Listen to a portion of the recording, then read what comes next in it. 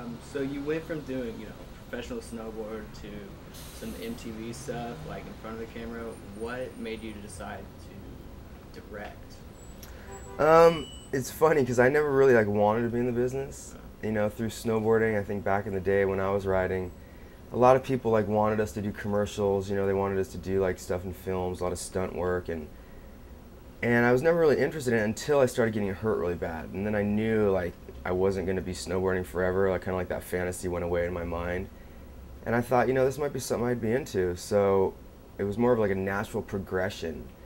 Um, you know, doing commercials, doing stunt work, and then ultimately getting a couple acting roles, you know. But I realized really quickly that that wasn't what I wanted to do. Like I really didn't enjoy being in front of the camera at all, and I didn't really think I was good at it, you know. But I really enjoyed the filmmaking process in a whole. So just through being on a lot of sets and watching a lot of movies go down and seeing how it was done, I started to do, you know, this and that. I was PAing, I was, um, you know, working with sound guys, working in the camera department, working as a grip, just doing whatever I could do until I finally felt like I understood every single job on a movie set. And it wasn't until that moment that I realized that, okay, I, I now know how this all goes down.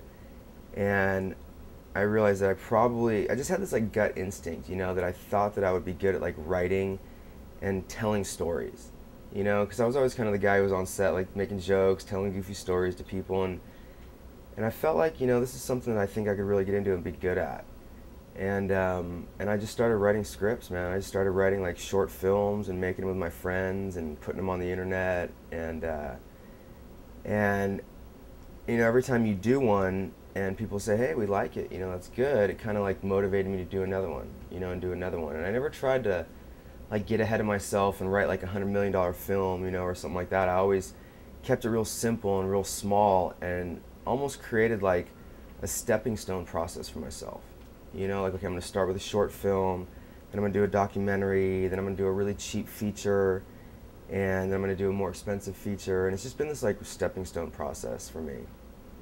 Um, really just figuring out what I want to do kind of as I go along. So going along with that, um, how do you view, like, the past films and then, like, the current generation of films? And, like, are there any there that inspire you?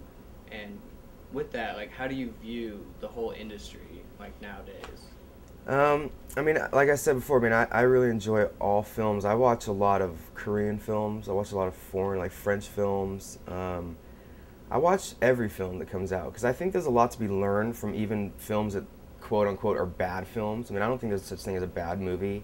I think the movies either work or they don't work, and I think timing has a lot to do with it as well. You know, like one night you could watch a movie and be tired and, and you know be bored by it but then the next day you get up and you're in a good mood and you watch it again and you enjoy it you know so i think that um, i think that just our generation the films that are coming out very contemporary films there's not a lot of good directors out there. I think a lot of people think they can direct films but they don't really do their research and they think they can just you know shoot a master shot shoot a two shot go in for coverage get a close up and they've made a movie.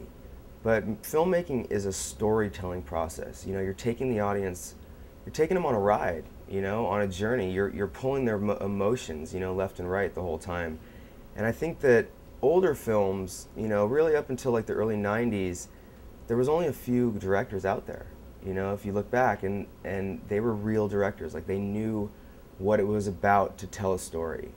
And today we just have a lot of people who get money um, for whatever reason, you know, maybe they got a wealthy family or something, they get some money to make a movie, and and they just you know kind of wing it, you know, and figure I'm just going to go into post production and do a bunch of choppy cuts and put some weird colors in there, but that's really not what filmmaking is about. Filmmaking is telling a story and moving the audience one way or the other, even if they hate it in the end. It's like you you made them feel something, you know.